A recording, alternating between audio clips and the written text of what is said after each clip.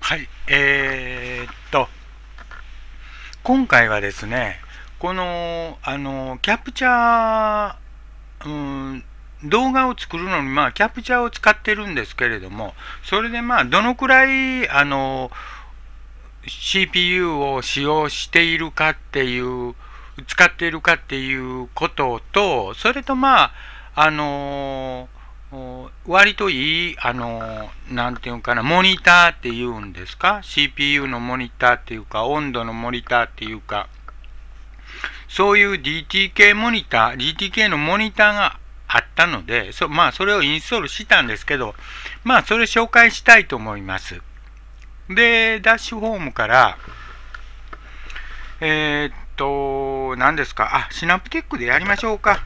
ね。シナプティックをやって、えー、っと、パスワード入力して、それで、えー、っと、GK だったですかね。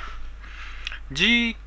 えー、GK って呼んでるんですけれども、これですね。ジクレーム？ちょっと読み方はわかりません。これですね。GNU くれるって読むんかな。うん、よくわかんないです。シングルプロセスでなんたらかんたら書いてますね。よくわかんないですけど、これをインストールしたんですね。で、まあ、インストールの仕方はここに、あの、このアドレスのところにありますんで、また、あの、シナプティックパッケージマネージャーでインストールしたいときは、これをちょっと見てください。それで、まあ、一応、あ、それで、これは、うん、そういう、こういうことになってるんですよね。それで、えー、っと、GK でやって出てくるんです。これですね。で、インストールもしちゃってるんですけど、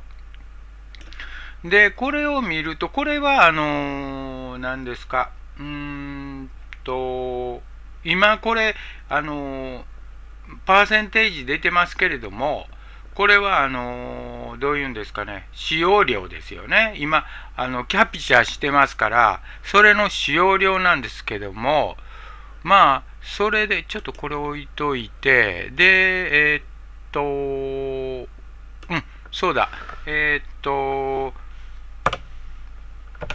システムの、あのー、何ですか、モニターですよね。システムのモニターで、あの、このハードウェアの、あの、プロセッサーね、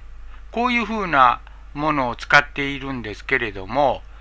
でもまあ、あのー、なんていうんかな、だいぶ使ってますよね、これ。で、えー、っと、リソースですね。リソースで見ると、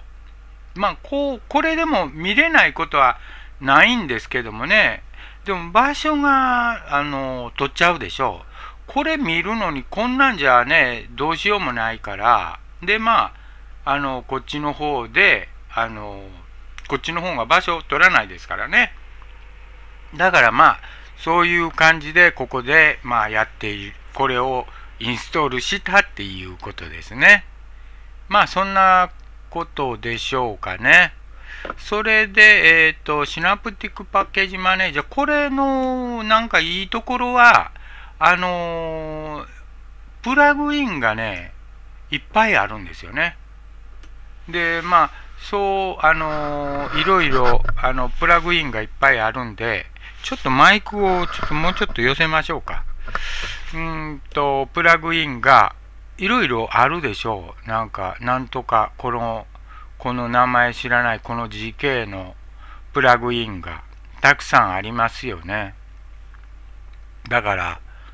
監視用のプラグインだってこれ無線リンクの。なんか、FM ラジオチューナーそんなんまであるんですか？いやー、知らなかったですね。まあ、いろいろあるようです。プラグインが。で、プラグインをインストールするとまたここに、あの、あれしてくるんでしょうね。あの、表示してやってくれるんでしょう、多分。まあ、ということで、まあ、このパッケージマネージャーの方もいらないですよね。まあ、そういう形で、この CPU を見たいのと、まあ、温度を見たかったんですよね。当てになるか当てにならんかわかんないですけども、でもないよりはいいですもんね。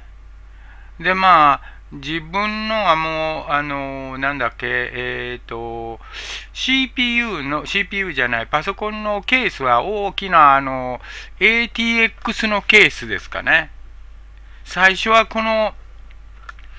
えっ、と、最初この、うんと、Ubuntu の12.044をインストールしたのは、え XG の41っていう小さなあのベアボーンのあのパソコンだったんです。そして大きなのに乗り換えたんですけども、名前だけこのまんまの 状態になってます。まあ、以上のようなことでしょうかね。今回はそういうことで、あの、CPU の、あの、キャプチャーの動画を撮ってる時に、どのくらいの、あの、CPU の使用量になってるかっていうのと、まあ、温度だとか、あと、まあ、システムのことについて動画を撮ってみました。